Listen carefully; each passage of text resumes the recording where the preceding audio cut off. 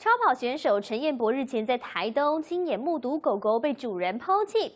这只狗狗呢，在大马路上追车哀嚎，看着让人很不舍。那么陈彦博也在脸书上以狗狗第一人称的方式 po 文，感动十万名网友。狗狗不停回头张望，在大马路上穿梭，只为了追上刚刚弃养它的主人。超跑选手陈彦博二十六号途经台东加路兰，意外目睹狠心主人弃狗过程。他就在机车道上面一直跑，我就只好就骑摩托车。